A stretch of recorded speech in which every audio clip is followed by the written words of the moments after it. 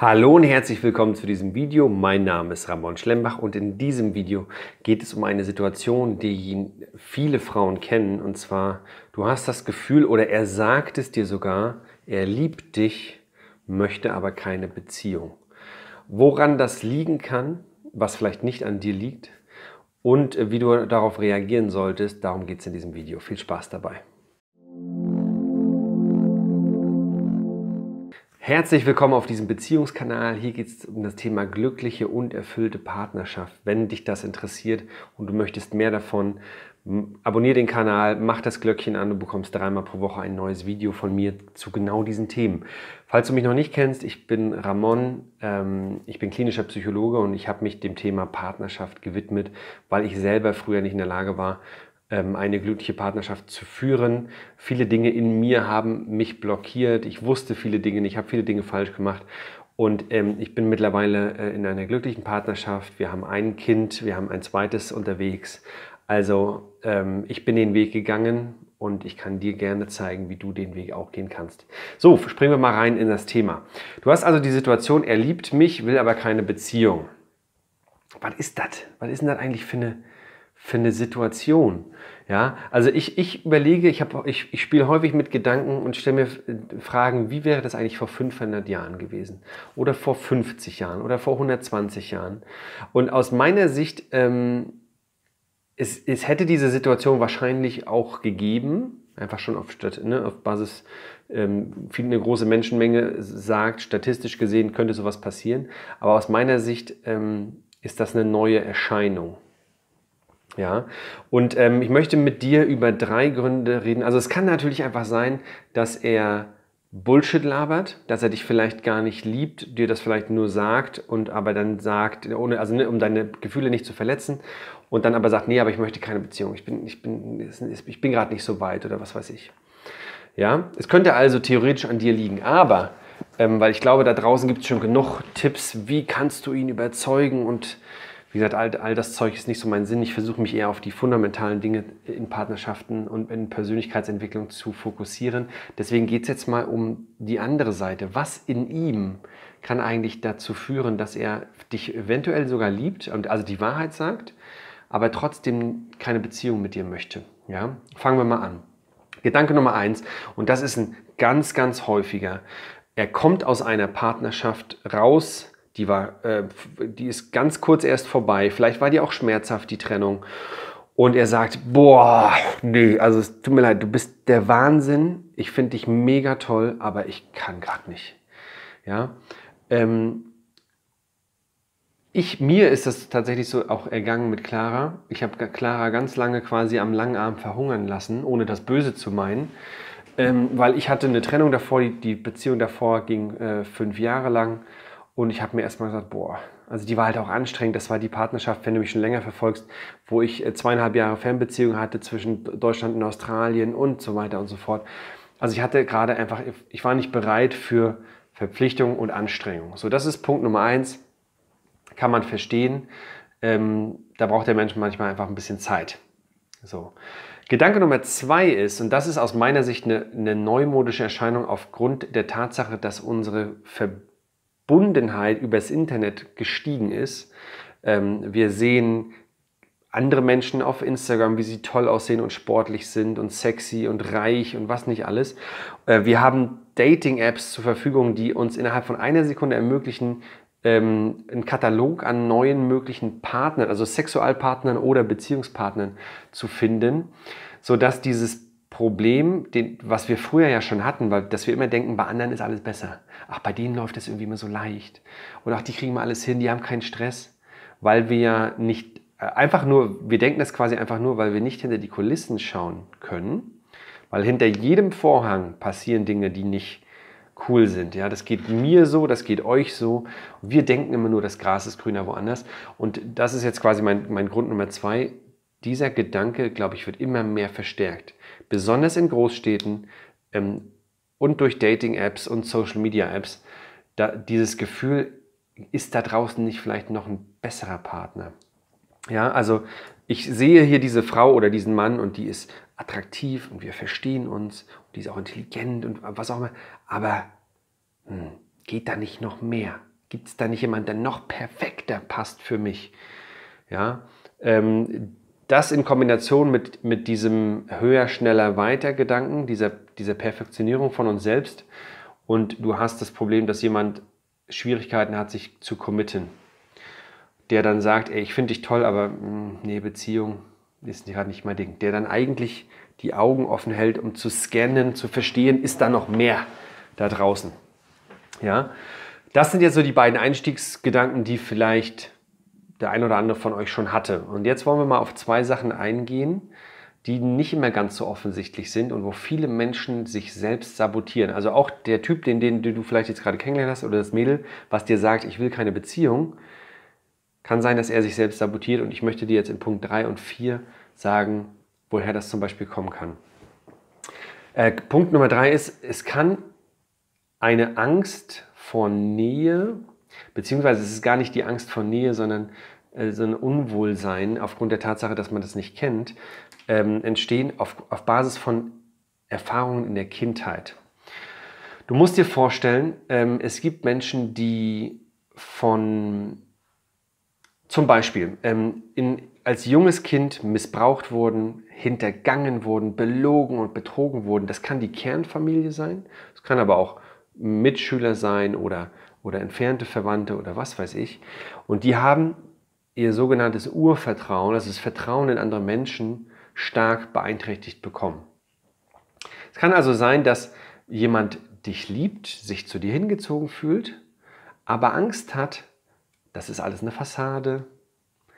Hinten raus sagt sie mir, sie hat mich verarscht. Oder, oder, oder. Verstehst du? Das sind also quasi also es ist möglich, dass Erfahrungen in der Kindheit mich so geprägt haben, dass ich heute Beziehungen vermeide. Nicht, weil ich sie nicht will, sondern zum Beispiel aus Angst. Es kann auch sein, dass ich ähm, von, zum Beispiel von meinen Eltern vernachlässigt wurde. Es war alles äh, in, meiner, in meiner frühkindlichen Lebensumgebung, war alles total kühl, distanziert. Ja? Und das einerseits, also das, das beeinträchtigt das das Bedürfnis nach Bindung, was jedes Kind hat, ja, Bindung und Zugehörigkeit zu meiner Bezugsperson, Mama in der Regel oder Papa. Wenn das gestört ist, dann kann es das sein, dass das Kind halt total sich nach Liebe sehnt, ja, oder was auch häufig der Fall ist, eine Kombination ist, ich sehne mich zwar nach Liebe, ich kann nie Liebe genug bekommen. Ich habe darüber übrigens ein Video gemacht. Ähm, mein, er, er, sie liebt mich nicht genug oder sowas in der Art. Das ist das letzte Video, was, oder das vorletzte Video, was ich online gestellt habe. Das verlinken wir euch mal. Ja. Ähm, äh, also es, wir haben dieses unersättliche Bedürfnis nach Liebe. Gleichzeitig kann es aber auch sein, dass wir diese Nähe nicht aushalten können, weil wir unser ganzes Leben lang auch in den frühen Kindheitsprägungsjahren diese Nähe nie gefühlt haben. Die ist nicht normal für uns. Und es kann also sein, dass wir uns total unwohl fühlen, wenn auf einmal so viel Nähe da ist. Ja, wir vermeiden diese Nähe und Beziehung kann halt heißen für mich zu viel Nähe. Das ist irgendwie, ich kann es nicht aushalten. Ja, auf Basis von Erfahrungen aus der Kindheit. Ähm, ich habe auch mal, das ist schon lange her, ein Video gemacht über drei Beziehungstypen. Dort ist einer der Beziehungstypen, die anderen beiden kannst du dir auch noch anschauen, einer der Beziehungstypen ist der vermeidende Beziehungstyp. Und das sind die, die ähm, Schwierigkeiten haben, wenn es zu nah und zu eng wird. Die fangen an zu sabotieren, Streits anzufangen, die flüchten, die gehen weg. Ja, und auch die sind geprägt, unter Umständen zum Beispiel durch Kindheitserfahrung. Ähm, wenn du dir dieses wieder anschauen willst, die drei Beziehungstypen, auch das verlinken wir dir gerne hier oben. So, das war Punkt Nummer drei. Also er liebt mich, möchte aber keine Beziehung, weil er zum Beispiel Angst hat oder Beziehungen generell vermeidet aufgrund von Kindheitserfahrung. Und jetzt, und das ist etwas, das uns irgendwie allen so geht und wo man aufpassen muss, dass uns das nicht zu sehr behindert und sabotiert. Und zwar Punkt Nummer vier ähm, vergangene Beziehungserfahrungen. Und äh, warum, warum sage ich das? Wir alle oder viel, die meisten von uns haben irgendwelche Beziehungserfahrungen in der Vergangenheit gemacht, die schmerzhaft waren. Ich in meinem äh, Beispiel habe meine erste große Liebe gefunden und ich dachte, die wird's. Ich heirate die Frau. Ja, ich war total Hals über Kopf, rosarote Brille, naiv verliebt, ja, in meiner Jugendlichkeit. Ähm, und ich habe es nicht kommen sehen und sie hat mich quasi in Anführungsstrichen aus dem Nichts verlassen. Jedenfalls für mich aus dem Nichts, weil ich es nicht kommen sehen habe. Und das war so schmerzhaft, das war so eine Ver Verletzung, dass ich wirklich dachte, ich werde nie wieder glücklich. Und was ist passiert? Ich habe mir dann geschworen, das wird mir nie wieder passieren, ich werde nie wieder so ins offene Messer laufen. Und ähm, das hat zwei Dinge gemacht. Als ich dann das nächste Mal eine Anbahnung hatte, also ich habe ein Mädel kennengelernt, drei, drei Jahre später in der Uni, ähm, fand die toll, habe mich verliebt und dann, als ich gemerkt habe, scheiße, das geht auf eine Beziehung zu, habe ich fast heulend in den Armen meiner Mutter gelegen, weil ich das nicht ausgehalten habe, weil ich Angst hatte, dass mir das wieder passiert. Ja, aber ich wusste damals schon, ohne das zu wissen, ohne Beziehungsexperte zu sein, ich muss da durch. Alles andere ist keine Option. Aber nicht jeder traut sich das und Menschen vermeiden das. Ja. Ähm, eine andere, ein anderes Beispiel, ich kenne eine Frau, wunderbare Frau, liebenswert, intelligent, die hat, und das, das, da ist sie nicht die einzige, aber ich nehme einfach mal diese Anekdote, ähm, die hat eine Partnerschaft geführt über mehrere Jahre. Und von Anfang an, das kam dann erst nach Jahren raus, von Anfang an hat ihr Partner sie betrogen, sexuell betrogen mit anderen Frauen. Von Anfang an, also keine Ahnung, schon nach zwei Wochen die erste, mit diversen Frauen. Und das kam raus, die Beziehung ging in die Brüche und das ist natürlich schmerzhaft, weil du die ganze Zeit, also du, du, vor allem wenn das so rückwirkend ist, so jahrelang ist, ist eine, eine Erschütterung deiner Realität. Oh mein Gott, ich dachte, bei uns ist alles gut. Das habe ich nicht gesehen. Und du fängst eventuell an, an dir selbst zu zweifeln. Wie kann das sein, dass, mir, dass ich das nicht schnalle? Ja? Und dieser Schmerz und dieser, diese Erschütterung des Vertrauens kann halt dazu führen, dass du danach ähm, Beziehungen vermeidest, weil du dir denkst, ey, oh, Hauptsache, ich darf nicht wieder an so ein, so ein, Arschloch in Anführungsstrichen geraten. Ich darf nicht wieder, äh, mir darf sowas nicht wieder passieren.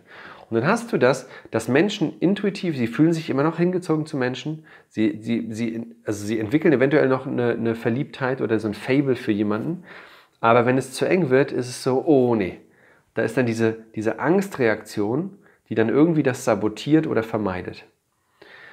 Ja? Ähm, das heißt, um das jetzt mal zusammenzufassen, das waren nur vier, das ist nicht allumfassend, aber ich wollte euch mal vier gängige und wichtige Gründe nennen, warum er oder sie dich lieben kann oder dir das sagt und eventuell trotzdem keine Beziehung möchte. Ähm, Grund Nummer eins war quasi gerade erst eine Trennung noch nicht verarbeitet.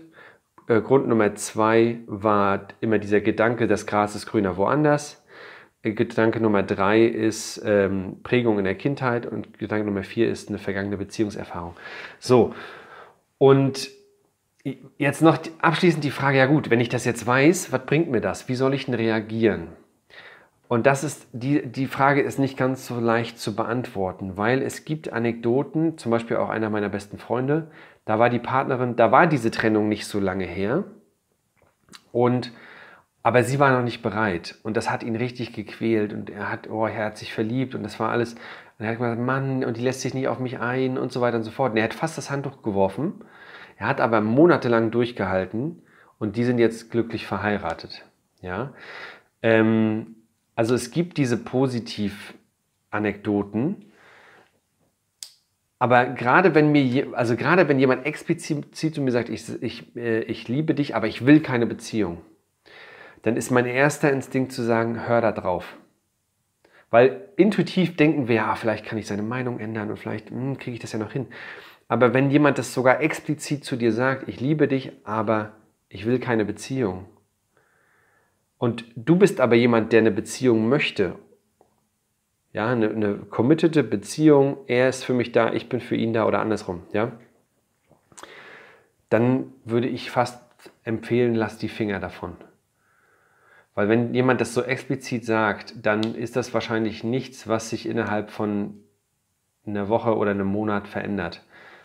Ja, also natürlich kannst du dir sagen, ja, okay, wenn der sich coachen lässt oder wenn er, wenn er eine Therapie macht oder was weiß ich, dann kann er die auflösen. Das stimmt. Aber er muss dazu auch bereit sein. Und viele Leute sind sich gar nicht ähm, bewusst darüber, dass sie Prägungen mit sich rumtragen.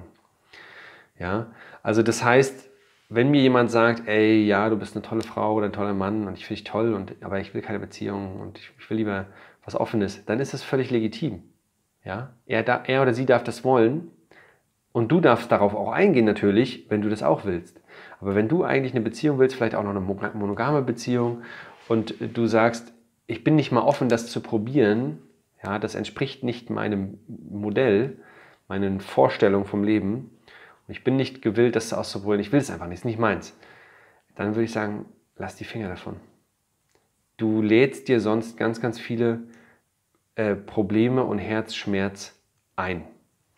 Ja, jetzt muss man, also das möchte ich jetzt auch am Ende des Videos nochmal sagen, das muss man, dieses Video solltest du mit Vorsicht genießen, weil ich ja nicht deine spezifische Situation kenne. Wie ja schon gesagt, ähm, bei meinem Freund und seiner jetzigen Frau war auch ein Grund, wo sie noch gesagt hat, na, mh, mm, aber da war das nicht so, ja, nee, also nee, ich will keine Beziehung, sondern sie war einfach noch nicht bereit und das hat man auch gespürt. Ja, da kann es sich lohnen, vielleicht mal dran zu bleiben. Aber wenn jemand sagt, boah, nee, oh nee, also nee, monogame Beziehung oder, oder äh, also, also ne, an polygamen Beziehungen ist nichts falsch, es sei denn, du willst es nicht. Ne? Oder an äh, lockeren äh, Freundschaft plus oder, oder was weiß ich, ist alles nichts falsch, es sei denn, du willst das nicht.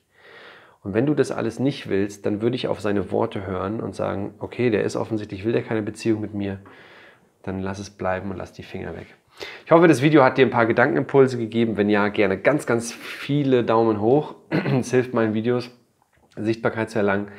Ähm, wenn du Videowünsche hast, gerne unten in die Kommentare. Und wenn du dich von mir coachen lassen willst, weil du ein Beziehungsthema hast, wo du merkst, ich kann mich hier entwickeln. Ich tue immer wieder Dinge, die ich nicht will. Ich fühle Dinge, die ich nicht will. Keine Ahnung, Wut, Eifersucht, äh, Verlustangst, irgendwas, wo ich das Gefühl habe, es, es, steckt in mir und ich möchte mich als Persönlichkeit weiterentwickeln, dann guck unten in die Box, dort findest du einen Link, da kannst du dich bewerben auf ein kostenloses Erstgespräch und ähm, da füllst du einfach ein paar Fragen aus, damit ich so ein Gefühl für deine Situation kriege und wenn das passt und ich habe das Gefühl, ich kann dir wirklich helfen, machen wir wirklich ein kostenloses Erstgespräch. Wir gucken, wo stehst du, was es tut weh, was sind die Herausforderungen, wo willst du hin. Ich sage dir, welchen Weg du gehen musst und wir können dann gemeinsam entscheiden, wollen wir den Weg gemeinsam gehen, ja oder nein. Also wenn sich das interessiert, der Link ist unten in der Box. Ansonsten wie immer vielen Dank für deine Zeit, vielen Dank für deine Aufmerksamkeit. Wir sehen uns im nächsten Video. Bis dahin. Ciao, ciao.